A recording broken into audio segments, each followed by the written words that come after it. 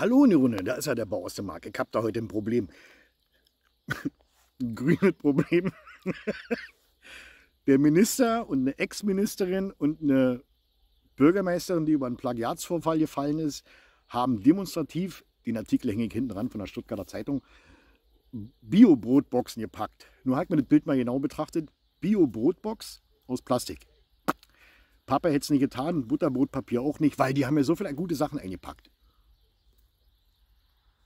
Vollkornbrot.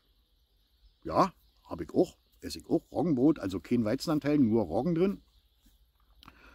Obst, Gemüse und ein Fruchtriegel. So, Bio-Fruchtriegel. Sag mal, habt ihr alle eine Macke oder was? Ein Bio-Fruchtriegel, das ist hochverarbeiteter Dreck. Da sind so viele Stoffe drin, steht zwar noch Bio drauf, so viele Stoffe drin, die absolut für die Haltbarkeit verantwortlich sind. Das Zeug hält nicht, wenn man das verarbeitet hat. Das geht nicht. Ist genau wie eine gewaschene Moribe. Die fängt nach drei Tagen an zu schimmeln. Punkt aus.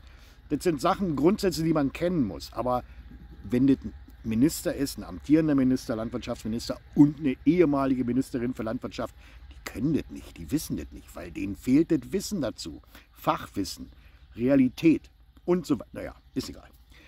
So, und jetzt frage ich euch mal, äh, der hat doch bei der 10 Gramm Diskussion Fleisch, hat er doch gesagt, jeder kann essen, was er will. So viel er will, Fleisch morgens, mittags, abends, nachts.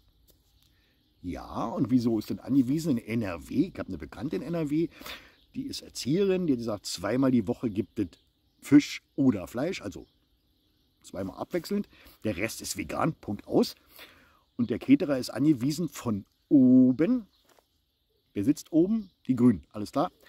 Von oben angewiesen nur noch drei Mahlzeiten vegan, also drei Mahlzeiten vegan, zwei in der Schule mit Fisch oder Fleisch auszustatten und Bio. Alles Bio. Und dann ist es schon mal schweineteuer geworden, weil kann sich also fast keiner mehr leisten. Und dass die Eltern von diesen Leuten nicht auf den Tisch bringen. Ja gut, die sind ja nicht so alt wie wir. Die hatten das mit dem Wissen nicht so. Die konnten Fächer abwählen. Denn wir hatten in Biologie schon in der siebten Klasse die Ernährungspyramide. Ja. Und danach haben wir dann auch gelebt und meine Kinder auch. Und ich habe die Kinder alle groß gekriegt, oh, ohne irgendwelche Schäden, dass sie jetzt grün wären oder so. Ne? Und wenn man sich überlegt, dass man, wenn man das nicht erreicht durch Freiwilligkeit, nee, dann wird es verordnet. Siehe das Schulessen oder das Essen für die Kinder in NRW, in dieser großen Stadt mit D, dass man das alles von oben vorschreibt. Weil im Stadtparlament sind welche, die dann auch froschfarben sind und die das so haben wollen, die sich aber nicht vorstellen können, dass das ungesund ist. Ich habe einen Kumpel, der ist Vegetarier. Ja, der isst Fleisch, äh, der isst Milchprodukte, also Käse und Milch und so weiter. Das isst er. Und Fisch, glaube ich, Fisch isst er auch. Aber auch dem reicht es nicht. Er braucht ab und zu mal so einen Bonbon mit B12.